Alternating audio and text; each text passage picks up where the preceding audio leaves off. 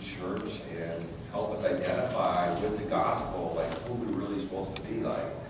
And sometimes it's, it's easier to make a change with a smaller group of people than with a large group because we say, hey, what we're doing right now is not really what church is all about.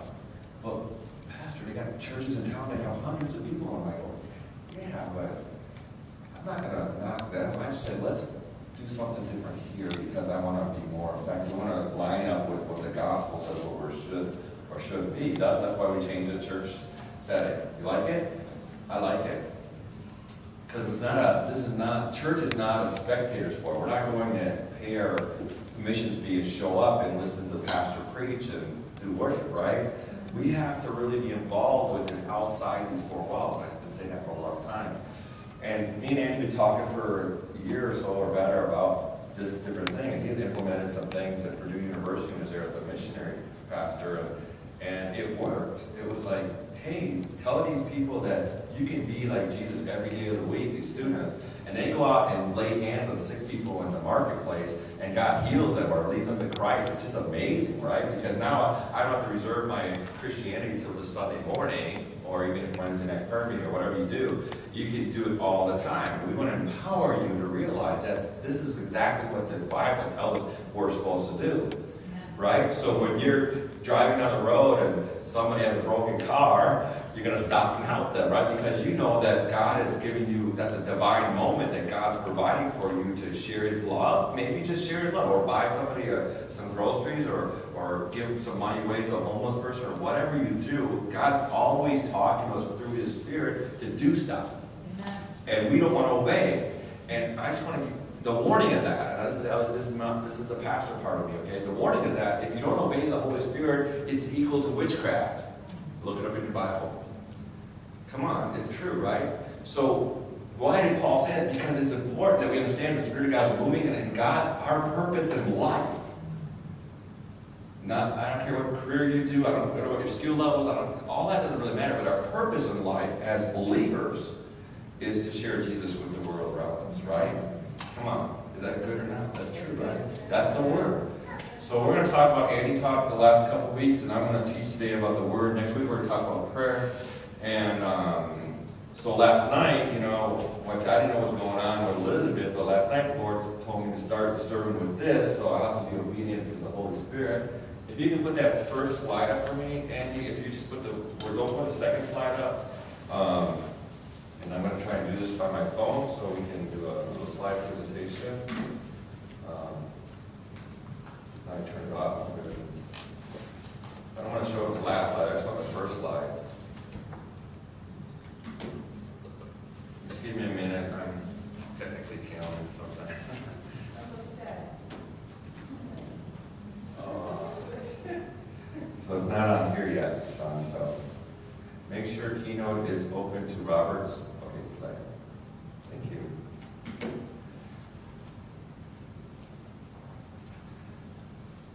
we go. All right. So let me.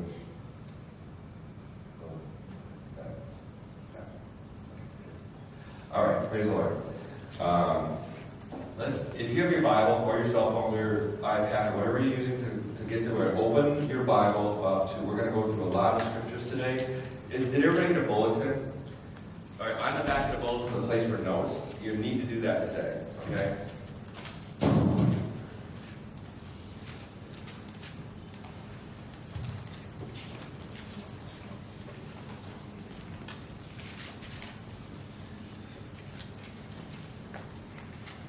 Well, we're gonna we're gonna go through uh, we're gonna go through quite a few scriptures today. Um, I was just going to try to use one scripture and just preach from that today, but there's too many things in the Word of God to help you understand why we need the Word of God. Okay, so I, uh, let me give you a few. Hopefully, during this week, you can go back and study them out, read them, uh, let the Holy Spirit uh, But if you go to Psalms 119, 105, we all like to quote this verse or this passage.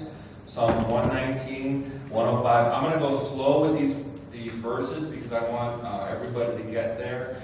And I know some of you are new at this, and I just want you to um, to be part of that. Um, sorry, Glenda, I don't know if I did that or not, but um, That's just to make sure you stay awake while I'm preaching today. So uh, no, I think I'm good. I don't- I don't know if this was, uh, I don't think that was something. All right, praise the Lord. Father, we uh, humbly come to you this morning. And again, we just thank you for your word that brings life to us. And Father, as we uh, examine your, the scriptures this morning, I pray that you touch our hearts and our minds to re- realize how we are to mature in you and not just be infants any longer. That we desire now, but we need to get on to some meat and move on to bigger things for your kingdom. So, Father, I thank you for that this morning. Help us to grow up this morning. In Jesus' name, amen. Uh, the word in Psalms 119, we all know this one because we've heard it a thousand times. Your word is a lamp unto my feet and a light unto my path. I could probably preach for hours on just that alone, but I won't. I want you to read the rest of it with me. So I have taken an oath and confirmed it that I will follow your righteous laws. I have suffered much, persevered, uh, preserve my life, O Lord, according to your word. Accept, O Lord, the willing praises of my mouth, and teach me your laws. Though I constantly take my life in, in constantly uh, take my life in my hands, I will not forget your laws. The wicked has set a snare before me, but I have not strayed from your precepts. Your statutes are my heritage forever. They are the joy of my heart. My heart is set on keeping your decree to the very end. Hallelujah. So we, we always remember the first verse on that, uh, Psalm 105. We say, uh, Your word is a lamp unto my feet and uh, light unto my path. We, that's it. We don't, there's, there's more to that. There's like a, a, a vow that I am going to follow your word. I want to obey your word. I want your word to be part of me. I want, I want it to engulf my thinking and my, my, my feelings and my, my body.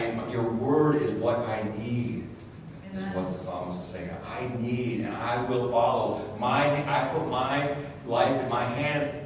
It doesn't work out. I need to follow your precepts. Amen. So that's important. I just want you to have that thought in your head. Now I want you to turn to Matthew 28.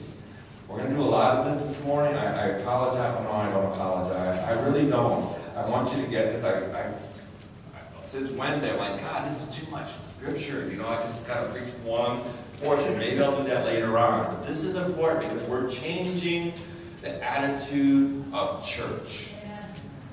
And we have to line it up with scripture. Otherwise, we're just doing what Bob says, right? No, we need to do what the scripture says. We need to change our life. We can't change our life by ourselves. That's why we have the Holy Spirit to help us understand the Word, to guide us, and lead us. Let's look at this. This is the commission, the Great Commission. It says this. Then the eleven disciples went, verse 16. Is everybody there? I'm going to wait because some of us are new at this. I read a story about Christians, uh, you know, coming and talking about God, doing everything they can, you know, on Sunday morning, but never using it. Uh, you know, it's like going to school and learning something and never using it. It's like, what good is it? You know, yeah, I feel good Sunday morning, Pastor. Made me feel good, right? And if your job, Pastor, is to feed me, I'm like, yeah, that's not true. But let me share this with you one more time. This is a great commission, right? This is what Jesus told the 11 apostles. I believe that is also for us today. Uh, if we compartmentalize and say, no, it's just for the apostles back then, then we make the gospel powerless. That's what we see today. Okay? So look at this. Then the eleven disciples went to Galilee to the mountain where Jesus had told them to go. When they saw him, they worshipped him, but some doubted.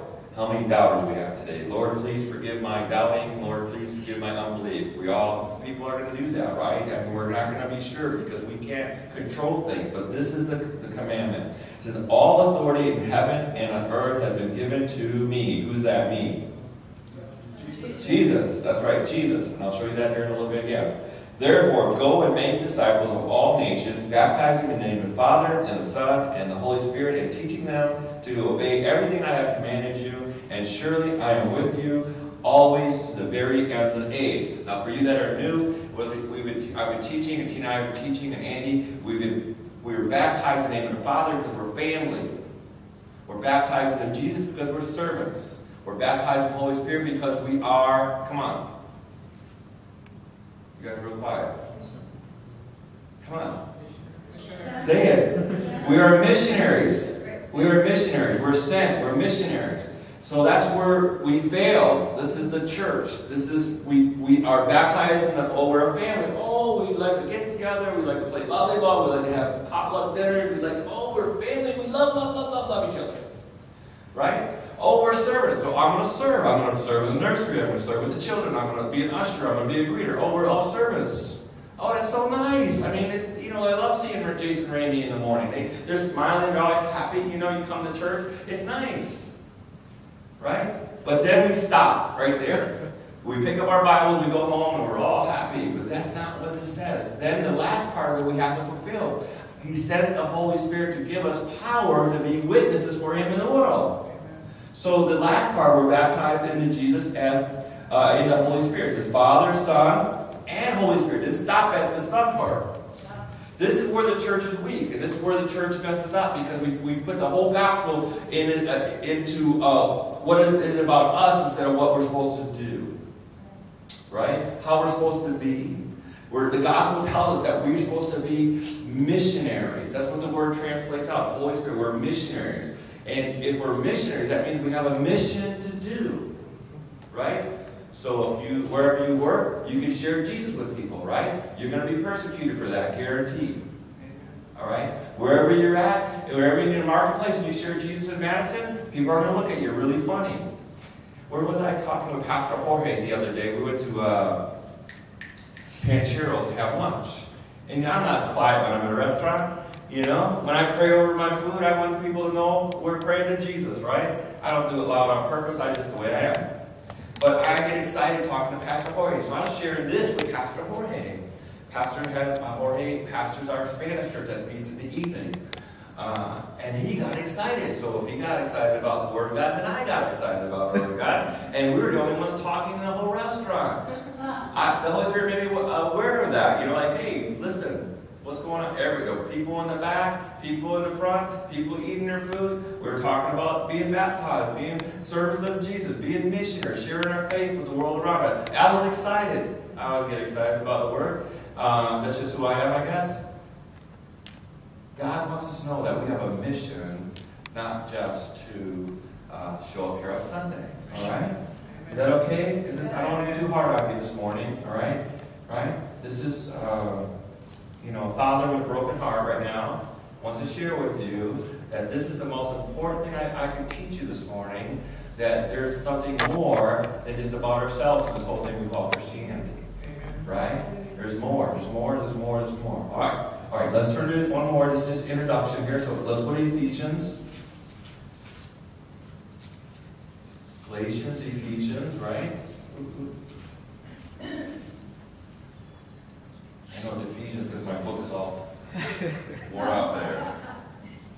If I could just get one book in my spirit totally, it would be the book of Ephesians. If I could just live it out, I think it would be the book of Ephesians. So look at uh, let's look at chapter four. This is uh, one of the most misused uh, scriptures in, in, in, in Christianity, but it's also the most powerful scripture in Christianity because we teach this the top part, part of it, but we never teach the last part of it. We don't want to get to the part where it says you need to mature. Yep. You need to grow up. Yep. There's something more to do than just showing up on Sunday morning. Because look at what it says here. Let's go back. Let's start up at um, uh, verse 4. Let's just do it. As a prisoner for the Lord, then I urge you to live life worthy of the calling you have received. Be completely humble and gentle. Let's start right there. I won't preach on it, but you, you know, I'll, uh, you know, praise the Lord. Uh, be patient, be bearing with one another in love. Make every effort to keep the unity of the Spirit through the bonds of peace.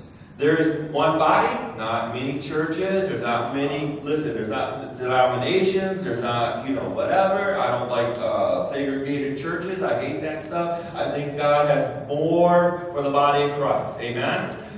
It's what, and the word is chosen all, all over the place. And here's one of the places they do. There is one body and one spirit, just as you were called to one hope when you were called. One Lord, one faith, one baptism one God and Father of all. It doesn't say Catholics or Lutherans or Protestants or uh, Hindu. It's all, right? Who is over all and through all and in all. So people say, I'm a Hindu or I'm a Baptist or I'm a whatever, I don't want to hear that. Do you know God the Father? Do you know He loves you? Do you know He sent His Son to die for all your sins? And He has a, He's the only way to salvation. That's what the Acts 2 says, right? Only way. I don't care what you say. I don't care what you believe in. I don't listen to that. I go past that. I look at the heart. God sees that soul all confused about the religious stuff in the world. And I say, no, that's garbage. You need to know this Jesus. Amen. Amen. I don't listen to, I don't want to hear about what they believe in, their isms and all that stuff. I just, I go past that. My mind don't even hear it anymore. God loves you, and it breaks them immediately. I don't argue about if I'm Hindu or Baptist or whatever. No, do you love God? Well, I go to church. No, do you love God? My grandma brought me to church. No, do you love God?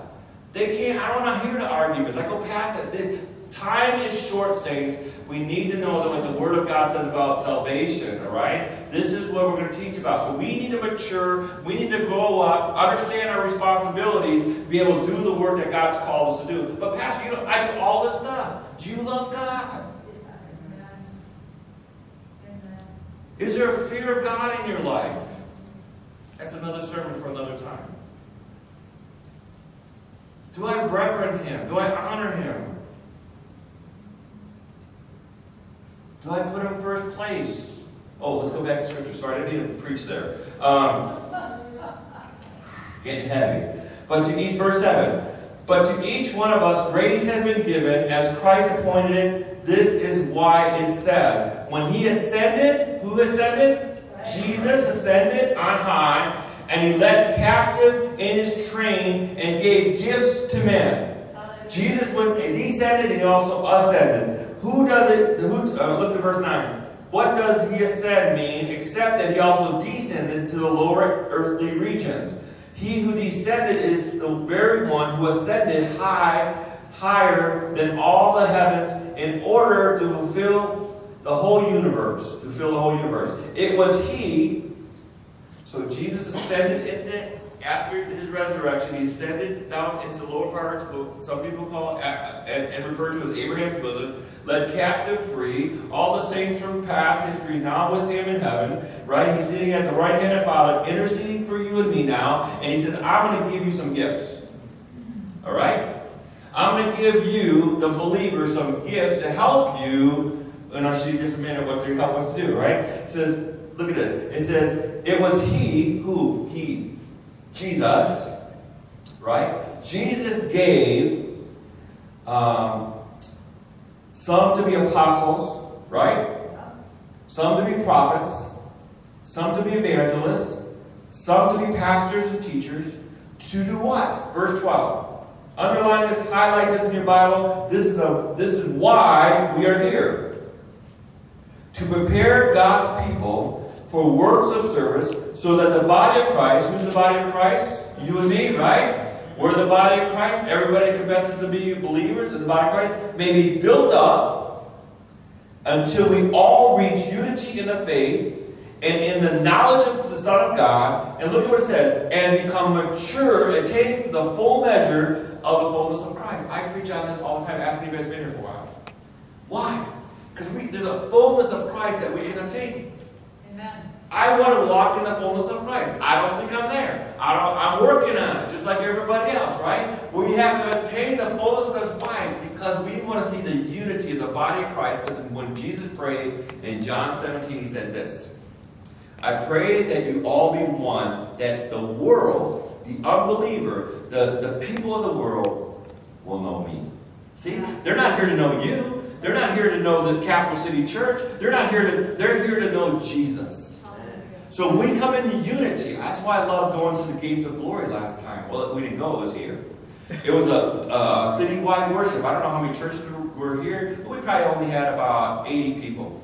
It was nice. It was, it was a joyful time. And the presence of God filled this place. But it was nice because other churches were here. We were together doing something together. Huh? And when Jesus said, when we're together, we're worshiping in unity, the presence of God filled this place. It was in worship. It was in worship practice. It was in preparation for the service. Already the presence of God filled this building. Yeah, uh, what's his name? Ted and Brian. Brian led worship, but Ted goes, Oh, uh, you guys must pray in this building. You know, because he's been in other churches. I've been to other events in this city. You know, it's just like a dead church. It's beautiful. It's it, more uh, beautiful than our building. It's just a beautiful church building. But there's like nothing there. I talked to my friend in uh, Alabama. He said the church is dead in Alabama. They people show up every Sunday. They dress nice. The ladies got their dresses on. The men got their suits on. They come to church. It, there's no spirit there. I want you to know, as we go out further today, understand that God has given you power to do what I'm telling you to do right here. Amen. Right? We have power. We have this anointed, uh, holy power that God's given us through His Spirit so we can do the work that He's called us to do. Right? He's not going to leave us as orphans. Like, oh, but how do I do church? How do I do Jesus? How do I live? No, it's not that way. Religion gives us all this confusion. I'm trying to do all the check marks. I, well, Pastor said I got to read my Bible, so I, okay, I get a reading plan. Oh, I didn't make. I, I skipped a few months, you know, a few weeks or whatever. and I know some of you are better than me, so maybe a few days. I didn't, I, and then all of a sudden we put condemnation on ourselves because we didn't do it, mm-hmm. right? God is looking for our heart. Amen. All He wants is our heart. Amen. Lord, I give you all of my life. That means all. Don't say it if you don't mean it, right? Kind I surrender all, all to Jesus. I don't know the word said. I surrender, I surrender all. Right? We sing it at church. Oh, yay. We go outside and we argue with our wife all the way home, right? yeah, yeah. It just doesn't make sense, right? I surrender all my will, all my ways, everything to you, Jesus, so you be glorified. There's some people in the world doing that right now. You know that, right? being persecuted and killed for the names for Jesus' sake. Only reason, nothing else. Just that they confess that Jesus is their Savior. People being beheaded and tortured and burned alive, and you know we don't hear that on CNN and Fox News any, or any on TV, but it's happening all over the world.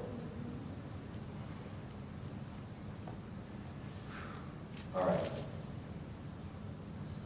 Let's go to uh, 1 Corinthians. Oh, wait, let me finish. Let me finish. Let me finish here. Man. So we this is this is what this is why you study the Bible, because you want to go, you want the full fullness of what the writer is telling you. You want to understand what the Spirit is telling you. So you stop right there, okay, I, I need to work on the fullness of God. But look why. It says, then we will no longer be infants. Amen. Huh? Why? Why do we need the fullness of Christ? Because we're babies. I told the church one time, I remember saying, Richard, remember that? I said, we're not filling a nursery here. Yeah. We're not a baby. This is not a nursery, right? We're going to be warriors. We're going to put on the full armor of God. we got a helmet of salvation, a breastplate of righteousness. We're going to have a sword, the word of truth. We're going to walk and, and as warriors for God's kingdom. What do you mean? I, I leave that for the Marines to do or something. You know, I'm not. That's not me. Pastor and Tina can do that. You know, that's what they're called to do. No, we're all called to do this. So we're not tossed back and forth by waves, of, waves and blown here and there by every wind of teaching and be, by the cunningness of craftiness of men in their deceitful schemes. Instead, speaking the truth in love, amen, we will, we uh, will in all things grow up into Him who is the head, that is Christ, and so on and so forth. Go ahead and read the rest of that. All right? So we're, we're growing up in Christ. We have to grow up. We can't just be taught. I mean, I, me and Tina have been doing it. I, I got saved when I was 19 years old. We've been in church a long time. A long time. We've seen the bad and the good. We see pastors fall. We see ministers fall. We see people fall. We see people restore. We see people back in the ministry. We just see all sorts of things. We're in a fight. Anything the devil can do to get you to doubt and fear God or think somebody's judging them, then they're, he's going to throw it on you. And guess what? Did you hear? The, I met a lady. I did a uh, funeral for uh, some years back. And she was offended because when she was at church, she's walking down the hallway, and two of the ladies in the church were talking about her in church. 50 years before she went back. She, well, she, went, she came here. She came here. So 50 years later, finally has peace and forgiveness in her heart. 50 years because some ladies in church talked about her. Now we got a lot of hurting people out there. We talk to uh, people on the street. The reason they don't go to church is because they've been offended by somebody in the church or a pastor or a minister, right? Because we're judging them. No, we have to love them into a relationship with Jesus, right? Right? Right. So stop talking about each other. All right. Matthew, uh, no, 1 Corinthians chapter 2. 1 Corinthians chapter 2. And uh, Dion, would you get the uh, communion things and bring them in here? First Corinthians chapter 2, uh, verse 10. It says, but, are you there? I'm sorry. First Corinthians chapter, I'll see when Yolanda gets her, her app up there, then I'll, I'll know when to go. Praise you, Jesus. Praise you, Jesus. Which verse? 1 Corinthians chapter 2, verse 10, we're going to start there. Or verse, yeah, second part of verse 10. The Spirit searches all things, even the deep things of God. For who among men knows the thoughts of man except the man's spirit within him? In the same way, no one knows the thoughts of God except the Spirit of God. Let me read it again. The Spirit searches all things, even the deep things of God. The Holy Spirit, right? That's, I got a capital S in my Bible. That's the Holy Spirit. The Spirit searches all things, even the deep things of God. For who among men knows the thoughts of a man except the man's spirit within him? So, do you see that says a little spirit? It got a small s there in my Bible. I don't know if it has in. There's a large S meaning the Holy Spirit, and a small s meaning your spirit. We all have spirits. That's what comes born again. Our spirit becomes alive to the Holy Spirit. We, uh, we recognize that we we are we we're a sinner. I mean, I don't know about you, but the day I got saved, uh, my spirit recognized God, everything was true, and I I instantly said, God, forgive me.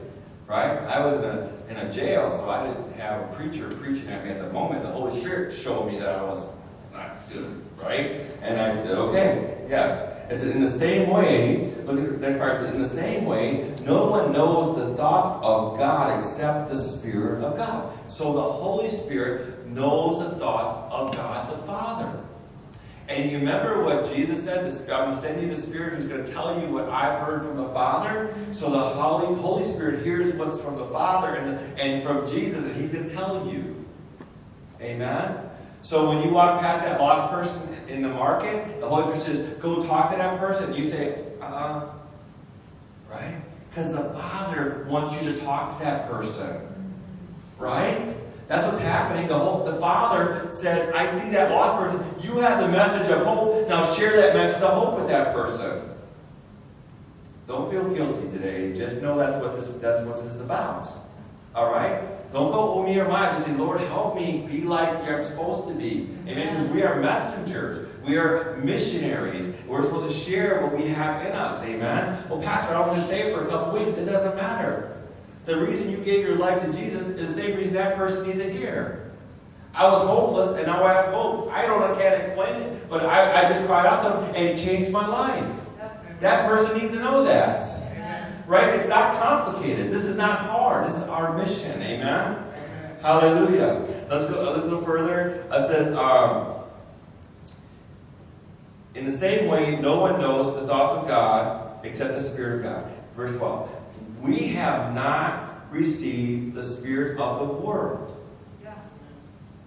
but the Spirit who is from God, that we may understand what God has really given us.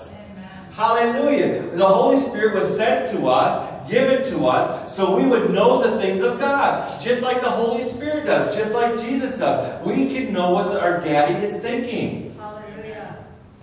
It's not a secret. Amen. You can know what does God want for me? You already know. You're just not listening. Right? What's the will of God for me? The Spirit of God's going to tell you, but you're not. You don't want to do the will of God because that means sacrifice. That means giving up. That means taking your cross daily and following God. Amen. We don't want to do that part because in the church we're taught different. We're taught you just show up. We have to feed you because that's the responsibility of the pastors. We feed your little sheep and we comb your hair and make you feel good, and out the door you go. That's not what church is going to happen. That's not church anymore. Amen. Not my book. Amen. All right, not my book. I just think we're. I've been teaching. I think I've been teaching. I've been feeling, oh God, I have to make sure everybody's feeling good and call them and text them and make sure everybody's, you know, happy during the week, right? And you guys, now listen, I'm just I'm putting this on you because it's a small group today. But I'm putting this on you, right? You should come with joy. You should come to the parking lot dancing. Pastor, look what God did. Just like the disciples did. We laid hands on the sick. Oh my God, the sick was made whole. There's a dead person. He was raised alive. I shared Jesus with this person, and they came to him. Amen. I'm going to say this is what I'll say, like you said. Oh, that's awesome. But rejoice that your name is written in the Lamb's Book of Life. Amen. Let's rejoice about that. Amen. But it should be a, a joyful time. Could you imagine what the church would be like? Just in a group right here. Pastor, I got a testimony. I want to share. Look at my friend I just brought to Jesus. I went into the bar last week. The Holy Spirit told me to go in there. I went into this bar. I talked to this lady. Here she is. She's now a believer. Hallelujah. Oh, we can't go in the bar. That's unholy. Yeah. We can't go over there. That's unholy. That's what we've been taught in the church for so long. We are supposed to be separated from the world. No, it says don't be unequally yoked with the world. Don't line yourself up with the world. Don't be uh, uh, mates with the world. Don't don't be part. Don't do that. But we're in the world. We do what we do so we can be a light to the world. Amen. Is anybody getting this today? This is true, right? This is true stuff, right? We need to be a light to the world. We need to love the people around us. I remember, uh, was it, oh, Andy, um, can I tell a story? Do it. So we, Go for it. we went to, uh, he was over at the uh, uh, computer place down the road from here, right? And he's in there getting his computer fixed, right? And and I thought, well, I'm gonna go. I was gonna go over there and get a, a, a cord for my Apple computer, for my Air, my Apple Air. I have a cord at home, and I hate digging around the couch, getting it, unplugging it, and taking it to the work. So for years, I've been wanting to get another cord. Well, he was over there. I oh, I'll go over there and get that cord. Well, I messed up his time of testimony with this guy, right? I just messed it up big time, you know. Like, praise the Lord, hallelujah. He's like, oh, Dad, what are you doing here? You know. But anyway, I saw that. I knew it. I, I messed it up anyway. I was going for it. So I just picked up it and I got out of there. But the thing was, he was sharing with this guy who uh, obviously is uh, believes that he's gay, right? So instead of going, oh, I got a gay guy in front of me, right? No, he, he engages the conversation. He wants to get to know this guy. He wants to invite him to his house for a game night or a pizza or whatever. You know, you just you invite these people that are hurting because you know people have these different things in their life because they believe a lie. The gospel tells you who they are. We can't share the gospel and go, oh, you gay. No. Right? Yeah. We got a letter from a guy from uh, uh, Rockford. Rockford, Illinois. He's saying he's going to come up and protest in Madison, Wisconsin. And he wanted us to come with him and protest at the gay parade, which they're supposed to have in the Capitol, but he had the wrong date. So it's kind of interesting, he had the wrong date. But, you know, so we, because we looked it up, you know. But this, this guy's off, anyway. So we told him, don't come to Madison, you can pray from Rockford. Don't come here and, and, and mess up the stuff that this church and other churches have gained in the community, and just because you're outside, you want to come here and, and make a scene. No, we don't want you to make a scene. You want to come? You come and pray. You want to come? You come and pray and worship over our city so the Spirit of God will continue to flow through the city, right? Because there's men and women that we've been here a long time, and we need to join together and reach out to the community, the, the politicians, the, the, all the different communities, amen? Because I believe God wants everybody to be saved. Amen. Come on, church. I, want- I believe everybody needs to be saved. I think everybody, there's a, there's a destination that's going to happen. Some people are going to go to hell. That's not God's plan. Amen. Right? God never planned for us to go to hell. He wants us to bring him to him. Why? The enemy is working hard right now. Hard, hard, hard. Changing things. Right? And the church needs to be, could be babies and start being infant, uh, infants and start growing up and know mature in God and start doing the work that he's called us to do.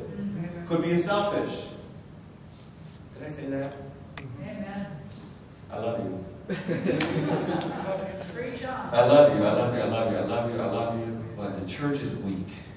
Hallelujah. All right, and I'm tired of playing church, and uh, this has been in my spirit for many, for a couple of years now, and I know that we need to understand that the Spirit of God was given to us to help us understand the things of God and mature us in God and help us, equip us to do the work that God's called us to do. Right? Read John 14 and 15. He said, I'm not going to leave you orphans, orphans. You're not going to be by yourself. I'm going to go to be with my Father. And Jesus is sitting, Jesus is not in your heart. And I know people say, oh, we teach the children. Jesus is not in our heart. Not, not in our heart. Jesus is physically sitting at the right hand of Father interceding for you and me today. All right? And Elizabeth. Amen. Amen. Right? God's praying for you and me. Jesus is praying for you and me. So I, I think one thing, if I was Jesus up there in heaven, looking down at Capital City right now, I would think that he would say, would you, church, please listen to the Spirit of God? Yeah. I mean, I think he's praying that, Father, help them. Spirit, just do whatever you can so they will listen to you. Hallelujah. Amen? But, it- and I think God's so cool about this, he's just not going to make, force it on us. The Spirit's a gentle, small, still voice that speaks to us. And illuminates the Word of God to us. He helps us understand what God wants us to do. Even this morning, it's like, we went in, uh, well, we- we've done this many times over the last year, so we just go in these panic mode when something, Elizabeth is not where she's supposed to be. Please panic. No, no, we're not gonna panic. Amen. God, you know, we're not gonna do that. So we had our moment this morning, and we said, okay, no. The Spirit of God says peace, Thank you, Father. peace, peace. So I texted my kids and I said, I sent them the note that Elizabeth gave us, and then I, you know, there was a little bit anxiety in the text back, you know, stuff, and I was just tell them, tell them peace, peace. Right? God is in control, right? In your life, in our life, in your life, your situation. If God puts you in a situation to uh, go and do something. He's going to give you peace, and you'll walk in that situation, and God's going to give you the power to deal with that situation. I remember going to, uh, I was, uh, man, I've always been a witnesser person, kind of evangelist, hard. Um, I walked into some of the darkest streets in, in Japan, and God just said, go there. I walked down the street, I was the only white guy in the whole place, right? Walking down the street thinking, what am I doing here? But knowing that God, the Holy Spirit was leading me down this road. And then able to share Christ with one person that night was amazing, right? Don't pray for me, because this kid said this to me. He's a, he was an airman or a marine, I don't know what he was, he was a service member. And uh, I'm sure he just got done with the bar or whatever, he was down in our alley, right? And he says, don't pray for me, pray for my mom, you know? I said, no, mom, I'm not gonna pray for your mom. The Holy Spirit told me this, and I told him about his life like that. Got knowledge, the word of knowledge, right? He melted in my hands. Cried, left there. I never, I'll never see him again. I don't know where he's at. I don't know if he's, what he's at, but he met Jesus that day. Amen? Right? That's the kind of experiences we need to have all the time. It's just a normal thing. Come here, hey, I can't wait to get the text messages, emails, and the videos, and hey, Pastor, look what I've done, look what God done, look what God's done through me. Amen? All right, let's go. Um, we're, we're really talking about the Word of God today. Uh, I love you guys. Thank you for being patient with me. Matthew 13 is the story about the sower and the seeds. Let's go there just for a moment. And the seed, as most of us know, is the Word of God. And Jesus tells this parable of a farmer that went out and sowed some seed. And he scattered the seed. And some of the seed fell on, oh, it's the verse 13, uh, chapter 13, verse, um, first verse there, verse, um, there's so little in my Bible, I can't, I need new glasses, I guess. Uh, verse 3, let's go there. It says, in red in my Bible, it says, a farmer. Is that, you guys there? Chapter 13. So the farmer went out and sowed some seed. And he was scattered the seed, and some fell on a path, and the birds came and ate them up. Some fell on the soil, and it sprung up quickly because the soil was shallow. Uh, it sprung up quickly uh, because the soil was shallow. But when the sun came out, the plants were scorched and they withered uh, because they had no roots. Other seeds fell among thorns, which grew up and choked the plant. Some other seeds fell on good soil, where it produced a crop of 160 and 30 times that was sown. He who has an ear, let him hear. Now, the disciple asked a question. Let's go to verse 11 real quick. Disciple asked a question. Hey, what are you talking about? That's like me sometimes, like God talks to me. Says, the knowledge of God. I don't, well, don't you talk to God? Oh, yeah. Huh? Don't you talk to God? Like, uh, I don't understand something. I'm like, God, what, is it, what are you trying to tell me? You know? And he just talks to me, hey, Bob, you know, let me show you this again. You know? right? He calls me Bob. He doesn't call me Pastor, so, you know. Uh, and then he shows me, and I, I'm like, okay, great. It's, it's kind of what God does for us. He wants to be that intimate with you. He Yeah. wants to talk to you. Okay, so look what it says. It says, the knowledge of the secret of the kingdom of heaven has been given to you, but not to them. So not everybody has that secret. We have the message, right? Because we believe. Whoever what has um, has will have whoever has will be given more, and he who has abundant, whoever does not have, even what he has will be taken from him. This is why I speak in parables. So some have understanding, some don't have understanding. He gives it, and if they don't understand, he takes it away. Though seeing, they do not see. Through hearing, they do not hear or understand. He's talking about the church, the Jewish uh, people at this time. They, they're not going to understand, right? They don't understand. Um, then he says in verse 40, In them is the fullness of the prophecy of Isaiah. You will be ever hearing, but never understanding. You will be ever seeing, but never perceiving. For this people have hearts have become callous. They hardly hear with their ears, and they close their eyes. So this is what I want to share with you about that. And then you go on, and he explains a parable about people that receive the seed, and some accept it, some don't, some are, are tangled by uh, unbelief, and so on and so forth, right? So what, what, what, why did I say this? Because some, um, the children of Israel did not understand, and the church, the reason the children of Israel didn't understand because they got caught up in the law. They got caught up in doing certain rituals and things that make themselves holy. And that's what, exactly what's happened to the church. Right? We have to do certain things, we have to do a certain way, we have to look a certain way, we have to do certain things, and we got caught up in doing a religious activity and we're dying. We can't hear the Spirit of God. So how do we break that?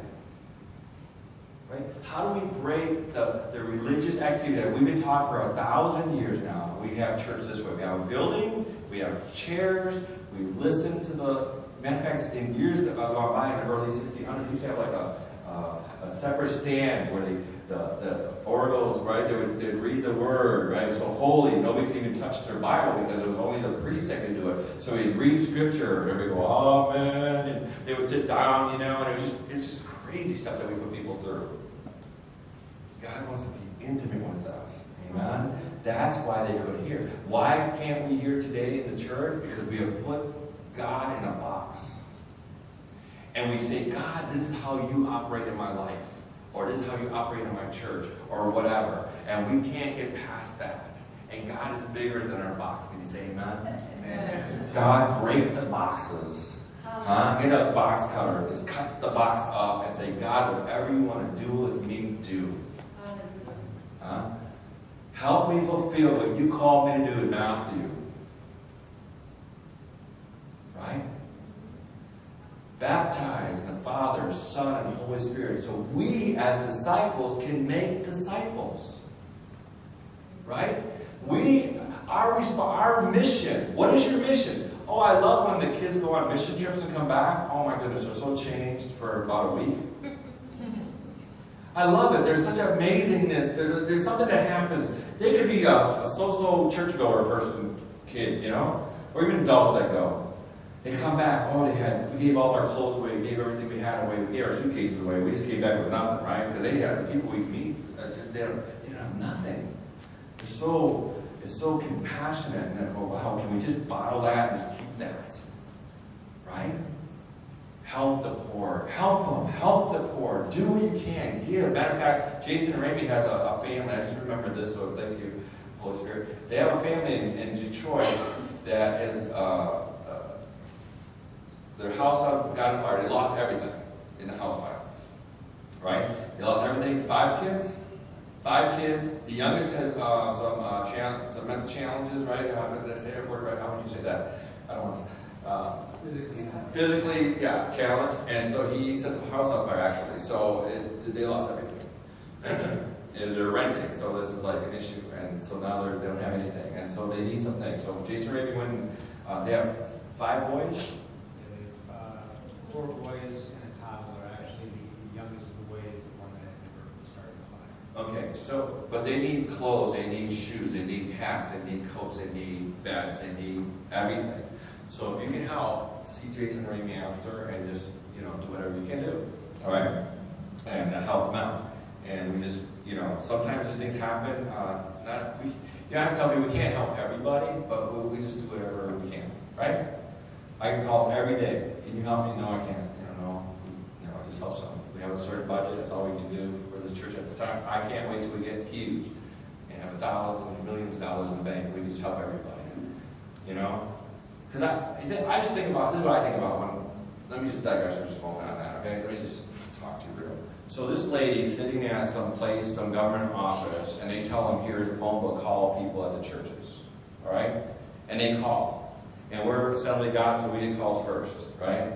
And I just can't, and I help when I can, you know? I mean, it's just, I, if we got twenty-five dollars left in this, I I tell the, the, the, uh, we're not a bank, so we don't keep a lot of money here, so we're not here to store up money for ourselves, right? We could use some more to do more things, but, you know, we do what we can. And so I help every once in a while, at least once a month, I try to help somebody that calls. I don't even know them, I don't expect anything from them, but I think that lady would, you know, they, they tell us, and it's funny because they tell the same story. I wonder if they have like a storyline in the telephone, where they're calling from, say these things, right? Because they just need help, right? And their whole world's falling apart, and, you know, they're calling church, and I think we should do something, right?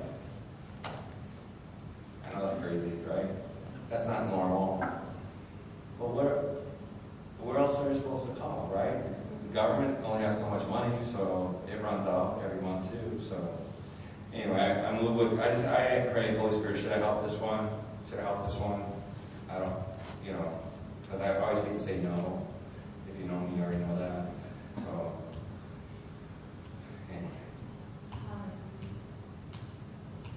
Church has to change, right, guys? Amen. We have to change, we have to change. And the way we change is, is I'm gonna give you a little, uh, I'm gonna give you a little, uh, some scripture here. Uh, Hopefully it'll touch your heart. There's two, uh, and don't have to turn there, but Ezekiel three three says, the word is like honey unto my lips. But it actually says milk and honey, so I think about, we should know the, we should know the, the word, we should desire milk and honey. But would you turn to John one one? We're gonna end with this kind of. Um, the word of God is like honey. Amen. The children of Israel were told that when they went into the promised land, I got this connection this week. It's so I like I couldn't believe God shared this with me. The word of God is like honey to our lips, right? It says milk and honey. Ezekiel in that translation. The children of Israel were told that they when they went into the promised land, that it was going to be they were going into a land of milk and honey, right? So I think what the Holy Spirit shared with me is He says if we go into the promised land, it's going to be like milk and honey to us. Amen. And we're in the Word of God. The Word of God is going to touch us. It's going to be sweet. It's going to taste good. It's going to feed us. Amen. It's going to help us grow. Right? I can preach all I want. Andy can teach. Montina can teach. We can do all these teachings. But you know, when you're in the Word and you're seeking after God, it's like milk and honey. It tastes good. Oh, I was going to make some bread this morning so the whole church smell like bread because it's like bread too, fresh bread, you know? It's like you can't, you, you want, you get, you ever bake bread? Oh man, the whole house smells, like, you gotta have some bread. You gotta get cut a slice, as soon as it's out of the oven, it's just enough, uh, warm enough to uh, cut. You cut it and you take a piece, put some butter on it, mm, mm, mm, and eat. Oh, that's, the Word of God is like that, like fresh bread, right? It's like that. Milk and honey I mean, I love honey in my tea. Uh, I love honey on just bread. I love honey, right? Just can't get enough of it. But the Word of God is supposed to be like that. Right? But we look, we have made it, the church have made it, we have made it over years a drudgery to go to the Word of God and try to just get closer to God and understand Him. But this is where we get closer. Quiet time. I want to challenge you to, to read your Word, obviously, as often as you can, but take a notebook with you. Amen. Take a notebook because that same the spirit that's not your spirit, the Holy Spirit, is going to tell you things about that word that you need for your life. Amen? And don't do the whole, oh, I got a scripture verse, I'm going to bring it out a piece of bread and read every morning. I mean, it's kind of, I guess that's good. But it becomes religious, right? We have to do certain things. Don't get a chart either. A Bible reading chart. I used to, I used to promote that here for years. I had one guy that never read his Bible. He's been a Christian for 50 years, was here. Remember Lewis, right? Lewis read his Bible the first time when he came here because we challenged him, read the Word, read the Word. So he was a, he didn't like reading. So I said, "Do you know on your computer, you can go to Bible Gateway and it'll read it for you. It changed his world. He was reading the Word every day, you know, but then it became, guess what? I read my Bible. He would tell me like where he was at, you know. So I say to him, I say to him, hey Lewis, what did God tell you while you're reading the Word? Yeah. But I read 25 chapters today. I'm like, good. You know, I just try to, I'm trying to be sarcastic. I'm a little bit that way sometimes. But what did God, what did the Holy Spirit tell you? Well, I don't know. I said, tomorrow, read only two verses. what do you mean? I don't read just two verses, but ask the Holy Spirit what it means. Yep. Right? Right? Because the Holy Spirit is always talking to you and it's always talking to the unbeliever. That's his responsibility. So he's always teaching us, he's always guiding us, he's always comforting us, right? Right? That's the Holy Spirit's job. And and bringing revelation of who God is in your life and in your situation. Amen. Like we were saying this morning, he's a good, good father. I shared this a couple weeks ago. I'm not a, I told the, the, my kids and my, you know, I'm not a good dad. I make mistakes, but God, the Father, is perfect. He never makes mistakes. His, he keeps all his promises. Amen. He's a good, good father. So um, John wrote this about Jesus, and, and this is what I want to kind of sort of end with. And now I'm back to Matthew 28 and 9, okay? So I'm so I, I really, I mean it this time. In the beginning of time, there was Jesus. And John writes this In the beginning was the Word,